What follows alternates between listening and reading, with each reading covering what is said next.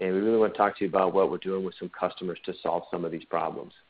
So risk management is a super hot topic, and part of the challenges with current solutions are, you know, a lot of it's batch enabled. It's not on demand.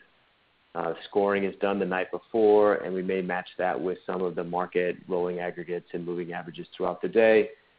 There's not as much flexibility from a SQL perspective or integration, and not as much visualization as a lot of customers might want. And so what Kinetica is offering is a different approach. So first and foremost, we're an in-memory database. We've got GPUs for acceleration. So that unlocks the ability to do on-demand calculations. So as we talk, more data is coming in. You saw some of the numbers earlier.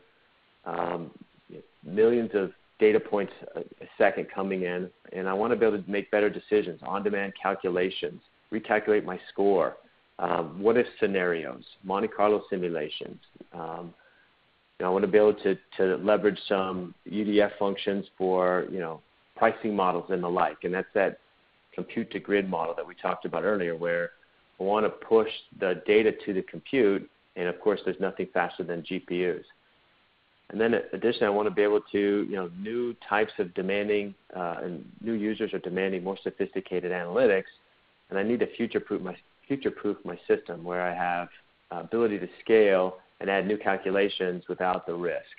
And so I, am able to add new VAR, um, you know, risk management tools, visualization tools to enable my traders to make better decisions at the right time. So I can learn from past and, and predict the future to get better outcomes.